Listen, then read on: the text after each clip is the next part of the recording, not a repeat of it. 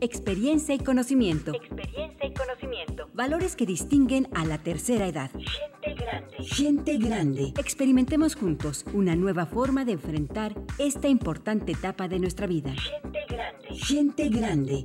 Bienvenidos.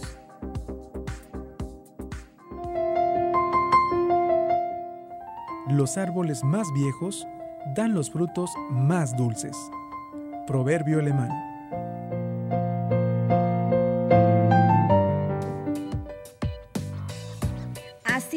Los árboles, pues los de más años son los que dan esos frutos más dulces por la experiencia, por las vivencias, por todo aquello que tienen de camino recorrido. De bueno, los árboles no, no ca- no caminan, ¿verdad? Pero las personas sí. Y entonces quienes tienen más experiencia decididamente y claro que van a tener eh, pues los mejores momentos, aquellas situaciones que han vivido y que les reconfortan con toda esta experiencia. Gracias por estar con nosotros. Soy Alejandra Morales y el día de hoy le tenemos preparado un programa muy bueno, muy interesante. De hecho, es un tema que está todavía fresco porque pues acabamos de pasar el día 2 de noviembre, Día de los Muertos. Eh, y bueno, nosotros pensábamos en este tema porque sabemos que hay muchas mujeres adultas mayores, hombres adultos mayores que desafortunadamente han perdido un hijo. Entonces, bueno, ¿cómo superar esa pérdida de un hijo? Pensamos siempre que conforme vamos envejeciendo, pues nos vamos a ir primero antes que los más jóvenes, ¿no? Y pues no es una regla, definitivamente no es una, no es una situación que, que sea eh, exacta, sino que no podemos saber, no podemos saber quién se vaya primero, quién se quede más tiempo, etcétera. Pero sí es un- una situación difícil quien la ha pasado. Entonces, vamos a, manejar este tema con el maestro Manuel Almaguer Alanís, que es el maestro de la maestría en psicología laboral, el psicólogo de la Universidad de los Mayores, de la Universidad Autónoma de Nuevo León y también del DIVE, Dignificación de la Vejez. Así que le invitamos a que se quede con nosotros, a que participe. Si tiene alguna pregunta, alguna duda, puede usted marcar al 2020-8865. Eh, precisamente estamos para escucharle. Seguramente eh, a veces son temas difíciles que no queremos manejar con nadie o que nos encerramos en nosotros mismos. Ojalá que le demos la confianza y es que usted pueda apoyarse en nosotros para ayudarle a vivir de una manera más feliz, con mayor entusiasmo esa tercera edad. Pero antes, bueno, vamos a, a presentarle eh, esta capsulita de Gerardo de la Garza, que es la grandeza de la vida. Él nos acompaña con temas muy interesantes, así que quédese con nosotros. Esto es Gente Grande. La grandeza de la vida.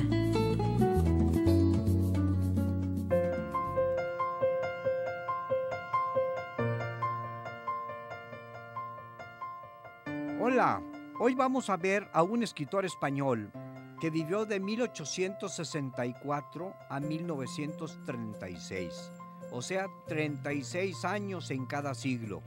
Curioso, ¿no? Miguel de Unamuno tiene frases muy interesantes y hay una que me llamó mucho la atención. Hay que sentir el pensamiento y pensar el sentimiento. Está para pensar, ¿no? Hay que sentir el pensamiento y pensar el sentimiento. Pero vayamos a su trabajo como escritor de ensayos y novelas. Por cierto, tiene un nombre muy chistoso, Miguel de Unamuno y Jugo. Simpático, ¿no? Bueno, depende de que sea el jugo. Sus obras principales, San Manuel Bueno Mártir, Amor y Pedagogía, Niebla y otras muchas más. Pero Unamuno tenía una afición, le gustaba mucho la papiroflexia, le gustaba mucho hacer animalitos con papel.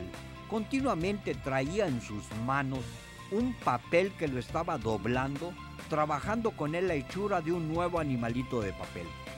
Esta actividad papirofléxica tenía por añadidura una función relajante y terapéutica, porque se ocupa la mente en algo muy concreto, haciendo que descanse el resto del cerebro. Él pensaba que era bueno el ejercicio con las manos y dedos, porque disipaba el peligro de parálisis.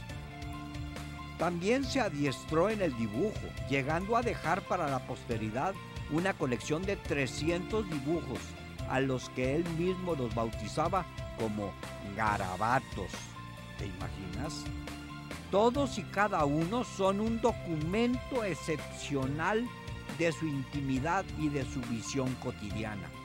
Trazados en todas partes, en servilletas, en los espacios vacíos de los libros, en hojas sueltas, incluso en el reverso de facturas.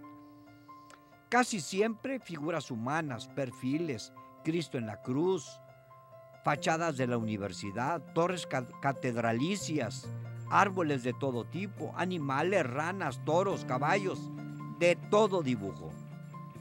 Cuando se quiere lograr algo, se consigue. Un ejemplo de lucha por lograr lo que se quiere, Miguel de Unamuno. Cierro como siempre y a seguir pataleando porque no hay de otra.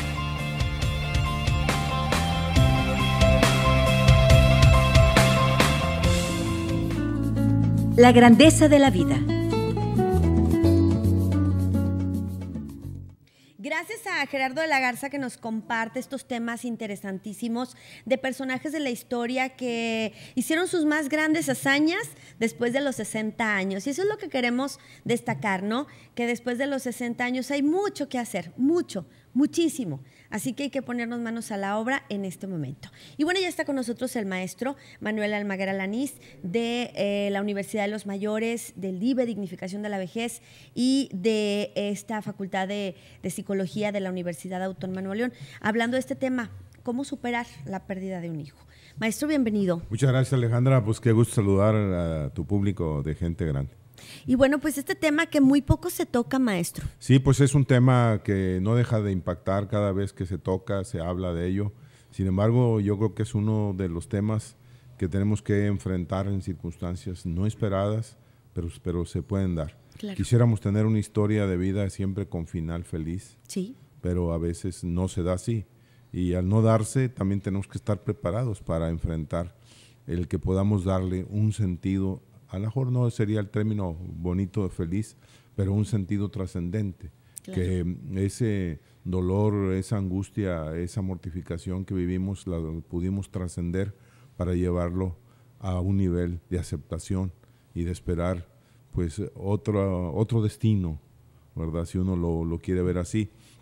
Desde el punto de vista de la psicología, podemos ver en la historia de la humanidad que se da mucho esta situación de la pérdida, ¿verdad? Cuando esperamos que todo coincida, de decir, bueno, pues eh, es lógico que primero van a morir los abuelos y los, más, grandes. y por, por, etapa, pero a veces no es así. Entonces cuando los padres sufren la pérdida, sobre todo más en la mujer, por su característica de, más uso de su inteligencia emocional, la pérdida de un ser querido cercano, un hijo, ¿verdad? A veces los padres, pero a veces es más eh, el hijo por, por haber vivido desde su concepción hasta su nacimiento, su educación.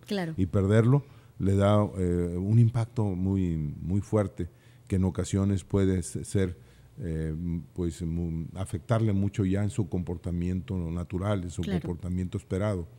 esto es porque se, en, en la escala hay una escala en lo que es eh, el nivel de estrés que los seres humanos eh, tenemos, del 1 al 100, en donde creo que es 99, porque 100 es ya, ya no estar, pero es 99. Entonces, este, esta pérdida llega casi a nivel de, de 90 puntos. Y ese, ese, ese, impacto causa lo que se llama un distrés. Y distrés significa, eh, su raíz quiere decir como este, dis fuera de, o sea, que me, como cuando hablamos de una discapacidad física, porque tuvimos una, un accidente o algo que, que nos causó una discapacidad, igual, esta situación puede discapacitarnos. Y ese discapacitarnos nos busca, ¿verdad?, a ese impacto emocional, mecanismos de defensa. Sí. Eh, pero a veces son mecanismos de defensa que no nos ayudan. ¿Por qué? Porque son mecanismos de defensa que mejor dice, no, aíslate, ciérrate, deprímete, este, ya no salgas, eh, ya no te realices, eh, ya no trates a los demás, ahora este, no vas a tener un buen carácter. Y entonces ese mecanismo de ajuste te polariza más hacia estar viviendo la situación de duelo que te causó la pérdida de ese ser querido. Caray. Em, ¿Esa pérdida no superada puede afectar en mi salud? Puede afectar eh, en, pues, en toda la unidad, en lo biológico, lo psicológico, lo mental, incluso hasta lo, lo espiritual. También. Hay, hay gente que después de una pérdida así eh, busca hasta culpar a un ser supremo y decir, ¿verdad? ¿Por qué me mandaste este castigo? ¿Por qué me, me hiciste esto? Ya, ya no te quiero, ya no este, deseo saber de ti. O sea, como una especie de negación Claro. como- y buscando eh, culpar a alguien eh, fuera de la persona que causó el hecho. Cuando a veces no, no lo vemos así, que no tenemos claridad de que eso pues son las historias que tenemos que vivir en nuestra vida y que a veces no tienen un final feliz. Claro. Y cuando no tienen final feliz tenemos que ver, nosotros ver cómo sí puedo yo ser, ser, ser, ser feliz. Hay una, hay, hay- me encontré en esas reflexiones un proverbio chino que se pierde en la noche de los tiempos. Y es, es, es- es muy breve. Dice, no podemos evitar que los pájaros de la tristeza vuelen sobre nuestras cabezas, Sí. pero sí podemos evitar que construyan un nido en nuestro cabello. Caray. O sea, que no se quede Con en eso. nosotros. ¿Qué, qué, qué reflexión tan bonita y que ahora desde el punto de vista psicológico decimos, no podemos ni debemos acariciar todos esos eh, sentimientos negativos al respecto que no me va a dejar crecer y trascender. Maestro, y alguien eh, eh, que nos está escuchando y que pasó por esto dirá, pero ¿qué me importa vivir o qué me importa eh, eh, superarlo si yo ya soy grande, ya tengo 70, ya tengo 80 y ya lo que quiero incluso es hasta morirme también, ¿no? ¿Por qué tener que superarlo? ¿Cuál es el objetivo de, de cerrar eso, maestro? El objetivo es de que pueda eh, llegarse otra vez a ese equilibrio o a ese justo medio, ¿verdad? Como, como se dice eh, en aquella reflexión de Siddhartha Gautama cuando oye eh, que un niño le pregunta a su papá, ¿cómo hago para que toque bonito? Entonces la vida es, es, eh, como tocar bonito, como un instrumento.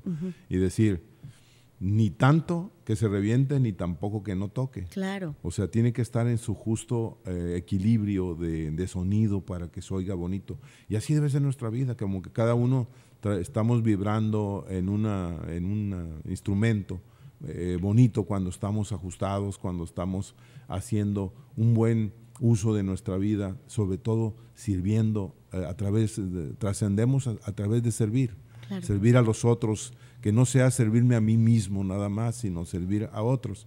A veces cuando la gente se queda con nada más con lo suyo, ¿verdad? No le permite entonces el que pueda ser feliz con, lo- con los demás. Claro. Yo ah, creo que tenemos corte, ¿verdad? Sí, ya me están diciendo. Eh, Esto está muy interesante porque era lo que yo, a lo que yo quería llegar, maestro. No podemos vivir feliz y si no vivimos felices, no es una vida esto. O sea, no es vida estar tristes, enojados, molestos, con amargura dentro. Así es. Tenemos que disfrutar. Estamos aquí, estamos en el ahora. Vamos a disfrutar cada momento. ¿Sí? Es difícil, yo lo sé. Eh, es una situación que ni siquiera tiene nombre, ¿sí? Yo soy madre y también la entiendo y lo entiendo a usted, pero hay que buscar la mejor forma de vivir esta vida que nos ha tocado. Vámonos con un corte promocional que ya Vamos, está listo. pues. Si tiene preguntas para el maestro, 2020-8865 es el teléfono que tenemos en el estudio.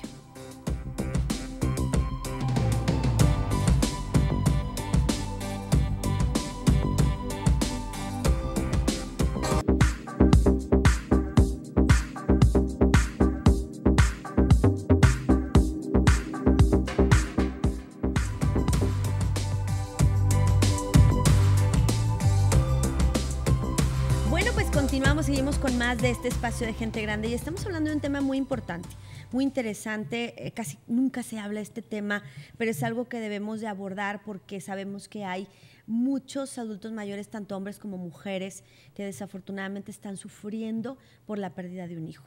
Así que, ¿cómo superar esa pérdida de un hijo? Sabemos que no, pues que es difícil, no es algo muy doloroso, es una situación muy fuerte, pero eh, no sé, le pregunto yo al maestro, que es el maestro Manuel Almaguer Alanís, que está con nosotros de la Universidad de los Mayores, del DIVE, Dignificación de la Vejez y de la Facultad de Psicología.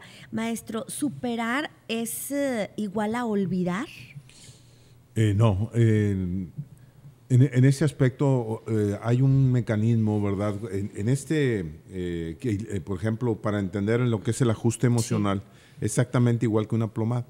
Entonces, cuando hay gente que quiere olvidar, pero empieza a usar mecanismos de defensa eh, o de ajuste que no son los correctos. Claro. ¿Verdad? Por ejemplo, la negación. Entonces, una manera de negar es, no, no, mi hijo sigue viviendo, mi hijo está aquí, no puede ser. Eh, fue otra. Y entonces sigue negando. Otro es eh, el estar este, suprimiendo, por ejemplo, eh, o reprimiendo aquellos, aquellas cosas, ¿verdad?, de, que, le, que, pasaron. Entonces, sigue agregando mecanismos que van polarizando más el, hecho. La gente que dice, voy a olvidar, pero no se olvida.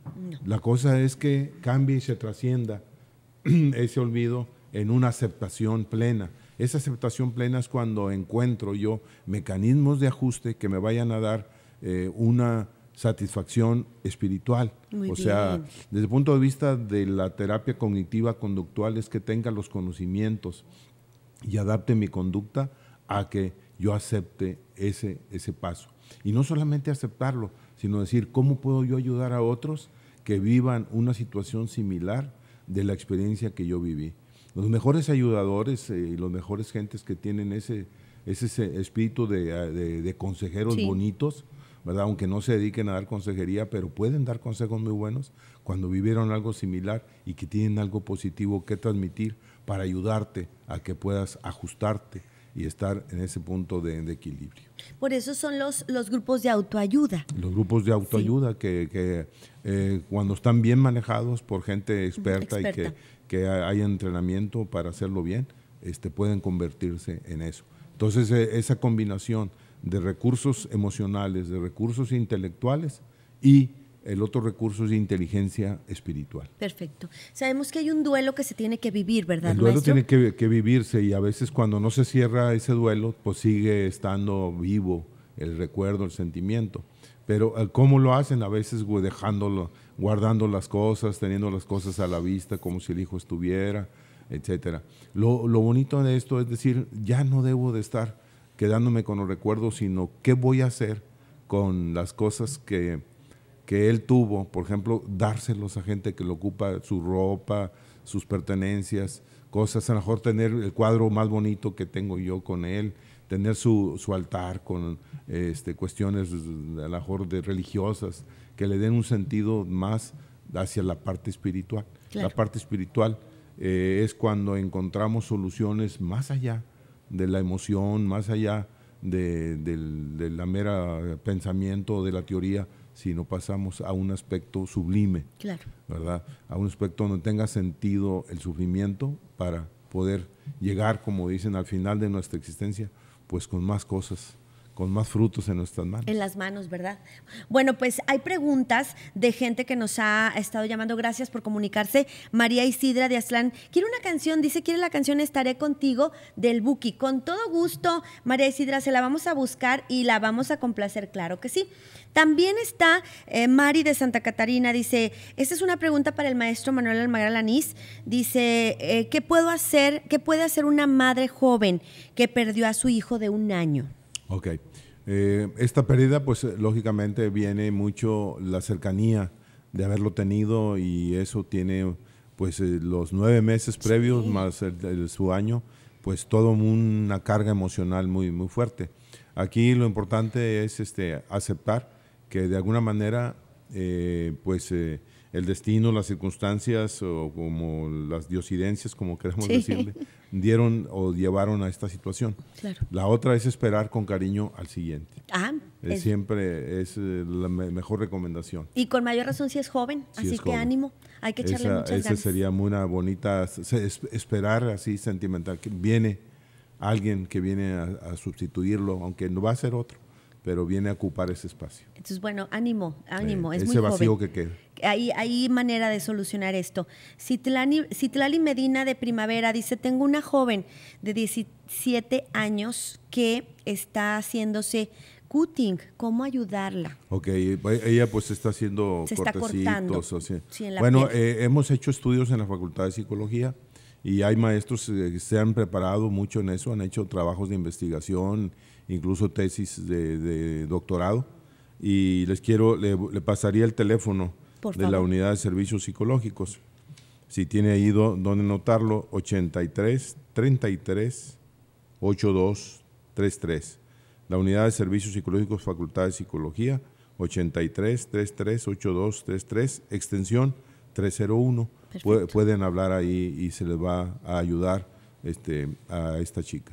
dándole terapia. Es muy Sí. importante que atiendan esa situación. Desafortunadamente nuestros jóvenes lo están viviendo. Maestro, se nos acaba el tiempo rapidísimo. Bueno, rápidamente, aquí tengo un, un libro, sobre todo para la parte de inteligencia espiritual, que se llama Nada te turbe, nada te, te espante, de Antonio Rollo eh, Marín, está editora de revistas y está basado precisamente en el texto teresiano que dice, nada te turbe, nada te espante, todo se pasa, Dios no se muda, la paciencia todo lo alcanza. Quien a Dios tiene, nada le falta, solo a Dios basta. ¿Y Esto este digo libro? que esa es la mejor resiliente Perfecto. eh, como psicóloga excelente, la, la- la Madre Teresa. de, así de es, Ávila. Así es. Pues aquí está eh, Santa Teresita con esta oración y el libro, si usted lo quiere conseguir. Vámonos. Maestro, muchas gracias por Gracias acompañarnos. a- y muchos saludos, felicidades. Gracias al maestro Manuel Almagra Lanís de la Universidad de los Mayores. Gracias a MCB Glam por el vestuario. Gracias a usted por vernos el día de hoy. Lo esperamos mañana en punto de las 10 de la mañana con más de este espacio de gente grande con temas importantísimos para conseguir un envejecimiento exitoso. Hasta mañana.